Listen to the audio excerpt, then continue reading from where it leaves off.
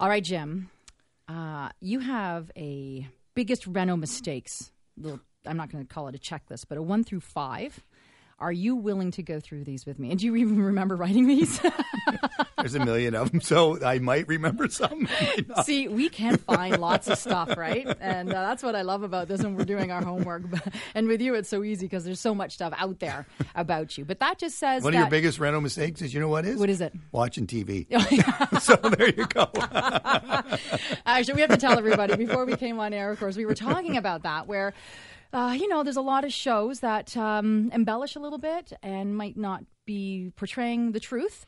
Uh, but certainly, I have to say that with your shows, um, that is something that I used to just love about you. Is you really told it like it like it was, or you tell it like it is. That's well, your approach. You know what I mean? It's funny when we were asked to do the show. I mean, that's that's you know that's when when they came and asked me. I said, look, i am more than happy to do it. Yeah. But the industry is so messed up people need to understand what we go through to get done sure. what they need and yeah. and what they put us through. And you know, we all agreed that that's the way it would be. And and you know what, Real Renos was. I think we were probably one of the first. For sure, you were first shows coming out, and and the networks were a little different back then, and we could get away with a little more. Yeah, well, and and, and it was cutting edge. Yeah, I mean, how long ago was that now? In I terms of we when aired you started, in, aired in two thousand and one.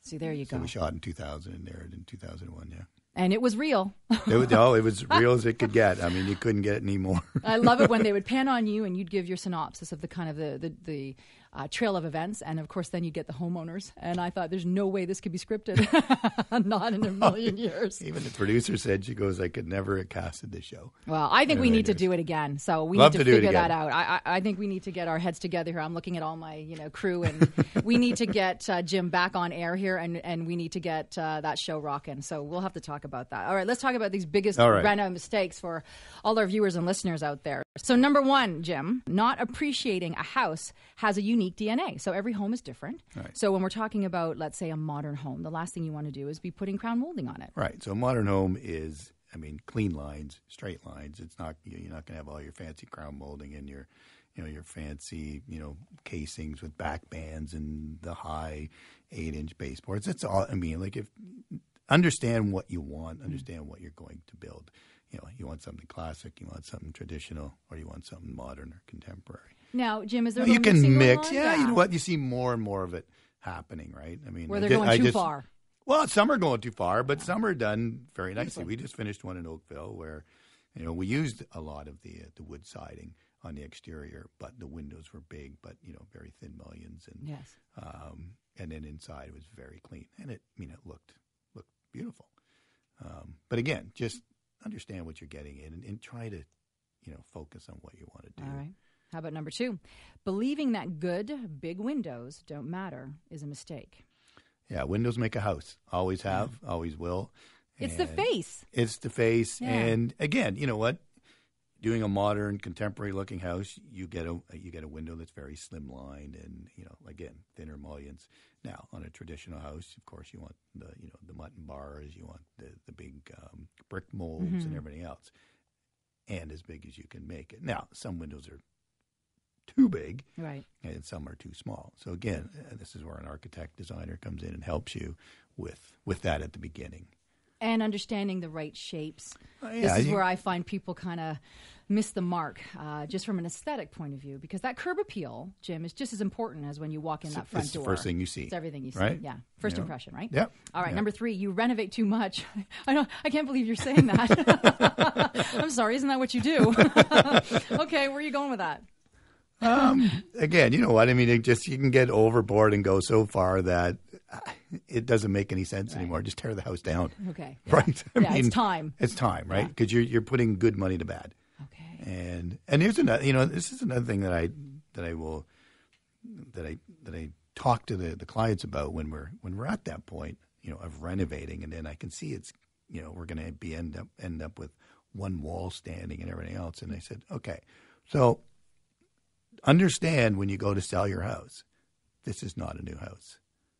It's a renovated. It's a renovated Yep. house. So the numbers will change. So to spend, if you want to spend a little more, again, not saying that you you have to or you can afford it, but if you did, and we tore the house down, sure, you know, setbacks and all that are going to be different. Right. But now you have a new house. Everything is new. Is new, and you can say so. And you can say so. Yeah. And you will get more money for it. Great point, Jim, because a lot of people out there use that term. New is just what I call the gray area. And uh, a lot of people use it and shouldn't when they're referencing the age of the home. They'll say new or like new, but that is very misused. And people have a misconception right away thinking that it is a new home. Mm-hmm. Like I'm putting my house up for sale in the next, you know, couple months. Right. It's six years old. I can't say it's a no, you house. cannot. Absolutely. It's a newer, Yeah. but it's it's not a new house. It's six years old. It's six years old. yeah, and there is that window, right? I mean, what is the window? A couple Yeah. years? Well, I'll tell you something. You know the answer to this, Jim, because I know people that have 20 year old, you know, old homes that are in better condition than some people's eight year old homes. True. And it's all about how one maintains it. Yep. right? For sure. Okay. Yep. Number four, you have no idea why you're renovating. Do do people just call you because they like you and what the heck? I mean, is that what happens? No, I think I think that's where the TV shows come in, right? Thanks to that, Yeah, the whole new know. industry has just gone crazy. Yeah. That's yeah. No, again, you know what? Just yeah. I mean, you mm. walk in there, and I think again, understand before you call a contractor and what you want to renovate. Don't just have me come in or any contractor come in and just say, "What would you do with the house?" Like, give me your ideas. No, you've asked me in. I, you know, if I'm the contractor coming in, I'm hoping that I'm going to have maybe a scope of work or something that you A wish want. list that they'll have. A wish list so I can price it out. But if you're just throwing out here, what would you do at the house? You know, We would call a that budget a free consultation. pretty much, right? and then you ne- they never do anything anyway. Right. So So be ready. be ready, do your homework. Yeah. You know, go on, you know, whatever you got to do. There's just so much. There's so much you can. Yeah. Yeah. Okay. All right. Good point. I like that. Number five, not enjoying the process of renovation. What do you mean by that? Well, again, you've watched the show. Yes. yes. Um, and I've renovated lots. Understand what you're going in.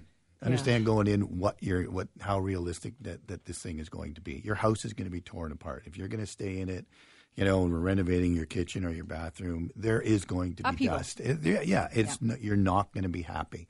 So move out, or at least know this is what's going to happen, and don't treat the guys like hell. Yeah. You know, they're just there to do a job. They don't want to be in your house either. They want to get in and get out, and you know, get on with it. You Now, get I far mean- more with sugar than spice. Right. Right. You know, and if you offer the guys a cup of coffee once in a while, it Beautiful. goes a long way. Yeah, it does. you know. Barbecues are awesome too. Very just A, good. just a thought. Easy outside and uh, very much appreciated. Very I much. like it. So let's talk more about the Caruk Group. Okay.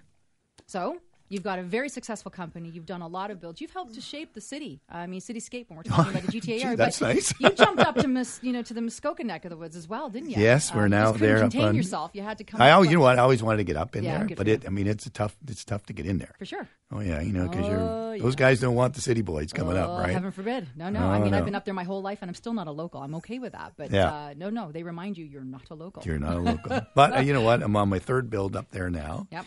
On uh, on Bigwin Island, and you know it's great. It's been a learning experience for sure. Right. Uh, I've got to got to work with. Uh, I've got you know my three.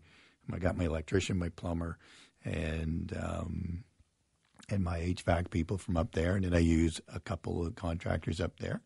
Uh, but I also still bring up my guys for the finishing and that. So it's it's it's worked out. You love it.